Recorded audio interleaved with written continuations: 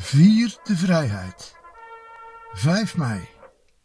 Vrede en vrijheid ontstond niet van de een op de andere dag. September 44 het keerpunt. Langzaam keerden de geallieerden deze slag. Nederland herrijst, klonk het op Radio Oranje. Geallieerden trokken succesvol steeds samen op. Naast Dolle Dinsdag ontstond er ook twijfel, door vuurgevechten en ook de geldende avondklok. Om de aanvallen te vertragen gaven we met ons watermanagement een zetje. Voor de bezetters was de Biesbos onberekenbaar en zeker geen pretje. Echter ontstond ook de Duitse waterlinie om juist onze bevrijders te blokkeren en de weg naar het oosten in hun tempo te stagneren. Beneden de 60 jaar kreeg je een oproep, dan zat je erbij. Verplicht bouwen aan de Duitse waterlinie. Je kon graven in zware blauwe klei.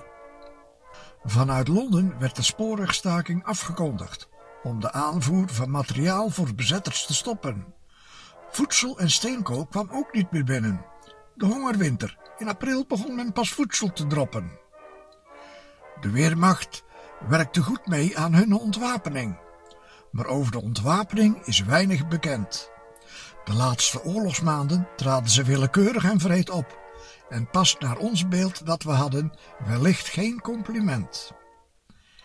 In herinnering verschenen boeken, dichtbij ook onze strijd.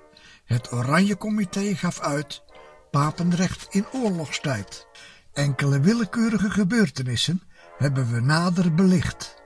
Te dierbaar om te vergeten, vermeld in dit gedicht.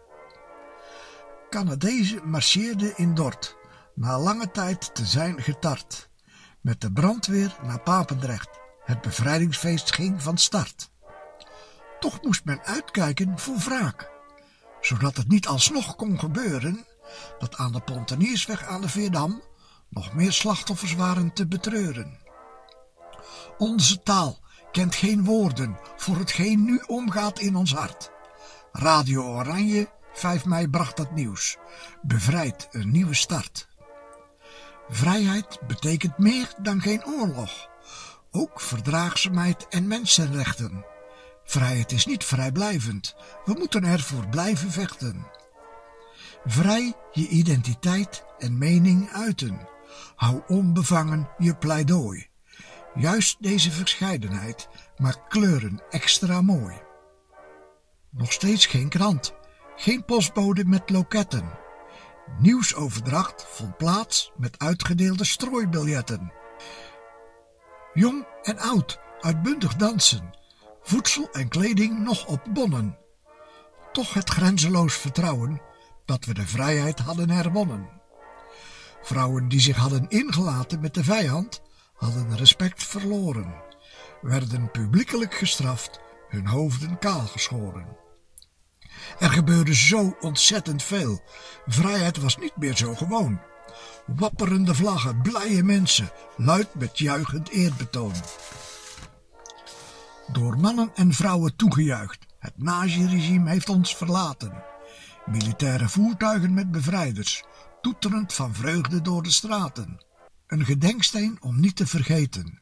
De verzetstrijders met hun strijd. Recent nog Gerrit van Dalen met een herdenksteen op zijn woonhuis van die tijd. Ik zag net dat Pleunie Korteland dat prachtige gedicht De 18 Doden van Jan Kampert, mooier ken ik niet, bij het portret zetten van eh, Gerrit van Dalen. En ik kan niet nalaten om dan, dan toch maar af te sluiten met het eerste couplet daarvan. Een cel is maar twee meter lang en nou twee meter breed. Wel kleiner nog is het stuk grond dat ik nu nog niet weet, maar waar ik naamloos rusten zal, mijn makkers bovendien. Wij waren achttien in getal, geen zal den avond zien.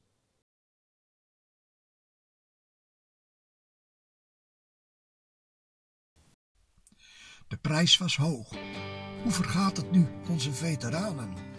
Alleen onder water ziet niemand nog hun tranen. Laten we ook in de toekomst herdenken ons verleden. Emoties uiten met vlagvertoon. Dat brengt ons terug in het heden. Bij pijn en verdriet hangen we de vlag half stok. Maar na 75 jaar vrijheid wappert de vlag in top. Vier de vrijheid, het volk is zeer vereerd. Laten we dat uitbundig vieren. Nederland, gefeliciteerd!